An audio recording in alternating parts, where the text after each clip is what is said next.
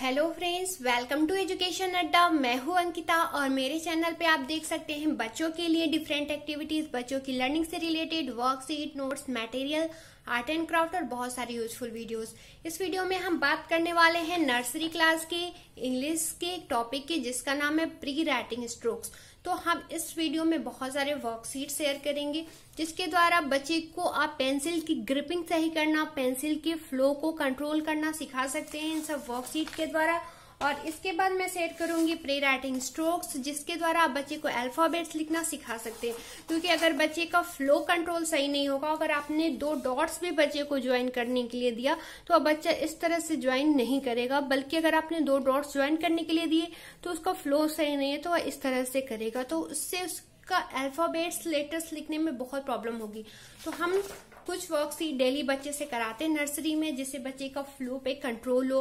Then हम pre writing strokes जैसे standing line sleeping line left slanting line right slanting line left curve right curve up curve and down curve यह strokes बच्चे से practice कराते हैं जितना हो सके। तो चलिए सबसे पहले हम अपना फ़र्स्ट वर्कशीट देखते हैं। फ़र्स्ट वर्कशीट में बच्चे को स्क्रिबलिंग करनी है। और स्टार्टिंग में हम बच्चे को सबसे पहले पेंसिल नहीं पकड़ाएँगे, सबसे पहले जम्बो क्रेयंस पकड़ाएँगे और बच्चे को जम्बो क्रेयंस पे प्रैक्टिस कराएँगे। अब यहाँ बच्चे को स्क्रिबलिंग करनी है, जैसे हमने ये रैबिट बनाया, अब बच्चे को इस पे स्क्रिबलिंग करनी है इस तरह से। इसके बाद हर एक जगह पे बच्चा स्क्रिबलिंग करेगा, इससे उसका कंट्रोल सही होगा। आप यहाँ पे ग्रीन कलर दे सकते हैं बच्चे को अगर बच्चा क्रेयॉन्स को अच्छे से प्रैक्टिस कर लेता है, उसके बाद आप उसे कलर पेंसिल दे सकते हैं और पेंसिल पकड़ा सकते हैं उसके बाद। तो आप बहुत ज़्यादा प्रैक्टिस कराइए बच्चे को स्क्रिबलिंग कराने की। डिफरेंट आप यहाँ पे पिक्चर्स ड्रॉ करिए और बच्चा उसे स्क्रिबलिंग करे, उसे कलर करे तो इससे बच्चे की जो कंट्रोल होती है पेंसिल पे, वो सही होती है ग्रिपिंग सही होती है। इसके बाद हम कुछ इस तरह की वर्कशीट देंगे बच्चे की कंट्रोल को सही करने के लिए। अब यहाँ कहेंगे बटरफ्लाई को फ्लावर तक पहुंचानी है बट यहाँ इस लाइन से टच नहीं होनी चाहिए। तो अब बच्चा इस तरह से अपने फ्लो को कंट्रोल करते हुए वह पहुंचाएगा। स्टार्टिंग में हो सकता है बच्चा टच कर जाए, क्योंकि बच्चे की फ्लो उतनी सही नहीं होती है बट धीरे धीरे आप उसे प्रैक्टिस कराएँगे। आप उसे इस तरह से वर्क से डेली करने देंगी। तब उसको देखेंगी, कुछ दिनों बाद उसकी प्रैक्टिस बहुत अच्छी हो जाएगी, और वह बिना टच किए हुए यह पहुँचा पाएगा ऑब्जेक्ट्स को। और जैसे जैसे उसकी प्रैक्टिस अच्छी होती जाएगी, आप यह डिस्टेंस कम करते जाएँगे। यहाँ पे आप देख सकते हैं आप बच्चे के लिए और ज़्यादा टफ हो गया तो इससे उसकी प्रैक्टिस और अच्छी होगी। तो जैसे बच्चे की प्रैक्टिस होगी, उसके अनुसार आप बच्चे की वर्कशीट के लेवल को और बढ़ाएँगे। इसके बाद आपने बच्चे को यहाँ पे ट्रेस करने देना है। ट्रेसिंग से भी बच्चे की फ्लो बहुत अच्छी होती है। तो आप तरह तरह के यहाँ पे ड्राइंग कर सकती हैं और इसे बच्चे को सिर्फ़ ट्रेस करना है। इसके बाद आप यहाँ देख सकते हैं स्पाइरल शेप में ट्रेस करना है। बच्चे को और फिर यहाँ से बच्चे को स्टार्ट करते हुए बाहर आना है। इसके बाद मैंने एक ठीक क्रेन से यह बना लिया है लूप अब बच्चे को इस लूप को फॉलो करते हुए इस बॉय को स्कूल तक या होम तक पहुंचाना है। तो अब इस लूप को बच्चा फॉलो करेगा और इससे उसकी फ्लो भी सही होगी। इसके बाद हम इस तरह से भी दे सकते हैं ट्रेसिंग करने के लिए। अब बच्चे को इसमें टच नहीं करानी है वॉल में और उसे बाहर जाना है। यहाँ से स्टार्ट करनी है और डिफरेंट डिफरेंट तरह की। यहाँ पे हमने वेव दिया, यहाँ पे हमने अपर लूप दिया, यहाँ पे जिग जैग दिया, यहाँ पे स्ट्रेट लाइन दिया तो डिफरेंट डिफरेंट तरह की यहाँ पे वेव दिया। इस तरह से हम बच्चे की प्रैक्टिस कराएँगे फ्लो के लिए। इसके अलावा आप कुछ और वर्कशीट देख सकते हैं। यहाँ बच्चे को या पैटर्न फॉलो करनी है। सबसे पहले बच्चा थोड़ा दूर भी कर सकता है, लेकिन जैसे जैसे उसकी प्रैक्टिस होगी, आप उसे पास पास ड्रॉ करने के लिए कहेंगे और बिना टच हुए। इसके अलावा आप फ्लावर्स बना सकते हैं और इसे इसी पैटर्न में फील करने के लिए, और जहाँ पे आपने डॉट्स दिया हुआ है उसे स्पायरल बनाने के लिए कह सकते हैं। इसके अलावा हम दो डॉट्स दिए और सेम कलर मैच करते हुए बच्चे को जैसे यहाँ ग्रीन है तो ये ग्रीन पेंसिल लेगा और उसे लूप बनाते हुए दोनों डॉट्स को मैच करानी है। तो इससे बच्चे की कलर की भी पहचान होगी और साथ में उसकी प्रैक्टिस भी होगी। जब बच्चे की पेंसिल पे ग्रिपिंग सही हो जाए, उसका फ्लो सही हो जाए, तब हम बच्चे से कराएँगे pre writing strokes.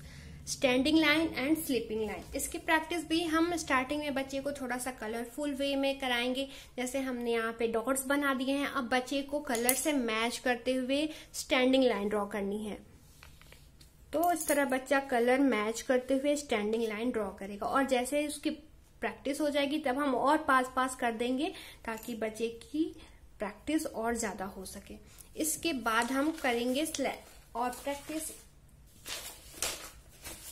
यहाँ आप देख सकते हैं, हमने यहाँ पे ड्रॉ कर दिया है क्लाउड्स और यहाँ पे ग्रास अब उसे यहाँ पे ट्रेसिंग करनी है सबसे पहले देन हम उसे देंगे या दो डॉट्स को मैच कराने के लिए। देन हम खुद से यहाँ पे बच्चे को ड्रॉ करने के लिए देंगे। तो यह तीनों तरह से बच्चे की स्टैंडिंग लाइन प्रैक्टिस होगी। इसके बाद हम स्लिपिंग लाइन की बात करते हैं। यहाँ पे आप देख सकते हैं स्लिपिंग लाइन के लिए भी हमने बहुत सारे डॉट्स बना दिए हैं।